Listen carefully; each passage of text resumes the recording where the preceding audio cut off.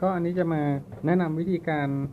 ลบรูปนะฮะ พวกโฟลเดอร์รูปอะไรที่มัน sync มาจากตัว Pic Picasa ใช่ไหมฮะ อ่า สักครู่นะฮะ โอเค คือหลายคนบอกว่า เออเจอโฟลเดอร์แปลกๆ ซึ่งมันลบไม่ได้นะฮะ อย่างโฟลเดอร์พวกนี้ฮะ ที่มันเป็นโลโก้ของ Picasa อยู่นะครับ เวลาเราต้องการที่จะลบนะฮะ เราคลิกไปแล้วนะครับ แต่ด้านบนก็ไม่มีเป็นเครื่องหมาย delete เอ่อเป็นเป็นรูปถังขยะมาให้ ซึ่งต่างจากเอ่อโฟลเดอร์พวกนี้ ซึ่งเวลาเราคลิกปุ๊บจะมีรูปถังขยะขึ้นมานะฮะในการอ่าในการที่จะให้เรา delete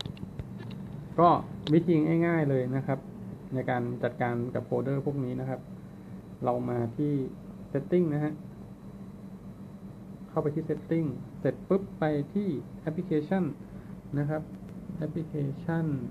เออ no ไม่ใช่ เป็นที่ Account ครับ แล้วก็เลือกที่ Google ฮะ เพราะตัวนั้นมันซิงก์กับบัญชีของ Google อยู่นะฮะ ณ ที่นี้ผมมี อ่า เป็น Google Account อยู่ 3 ตัวนะครับ ไล่ดูทีละตัวก่อน ไล่ดูตัวล่างนะฮะ ตัวล่าง โอเค ผมไม่ได้ซิงก์ Google Photo ไว้ แล้วก็ไม่ได้ซิงก์ Picasa ไว้นะฮะ ก็โอเค ไปดูตัวอื่นนะฮะ ตัวนี้ ตัวนี้ผมก็ไม่ได้ซิงก์ไว้ โอเค ตัวสุดท้าย อ่าตัวสุดท้ายนี่ผมซิงเอาไว้นะฮะก็ผมไปเอาตัวทั้งสองตัวนี้ออกเลยนะครับ ก็เนี่ยฮะ คือทำแค่นี้เสร็จแล้วจบเลยอืมยังยังไม่จบจริงหรอกนะครับ ก็มาดูอ่าเข้ามาดูที่แกลเลอรี่ อ่า หลายคนยังบอกเอา้าไม่เห็นลบไปเลย ยังมีอยู่เหมือนเดิมนะฮะก็ โอเค วิธีลบจริงๆอะมันอยู่ตรงนี้นะฮะ แต่ถ้าเกิดตรงนั้นน่ะ คือเป็นจุดที่เราจะต้องไปทำเพราะถ้าเกิดเราไม่ทำตรงนั้นน่ะ มันก็จะซิงกลับมาเรื่อยๆ เราต้องทำตรงนั้นก่อน แล้วก็มาทำตรงนี้ซ้ำอีกทีนะฮะ ไปที่ setting ครับ setting เสร็จปุ๊บมาที่ application manager นะครับ แล้วก็มาเลือกที่ all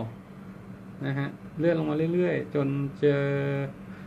อ่าคำว่า gallery นะฮะกด G นะฮะ gallery กดขึ้นมา เสร็จปุ๊บ อ่า จะเห็นขนาดนี้มาเห็นเป็นหน้าตาแบบนี้ เลือกที่ f o s t stop ก่อนนะครับ เสร็จปุ๊บโอเค โอเค เรียบร้อยนะฮะ เสร็จปุ๊บมาเคลียร์ Data โอเคอีกรอบหนึ่งอือฮึนี่ฮะ อันนี้คือสมบูรณ์ละ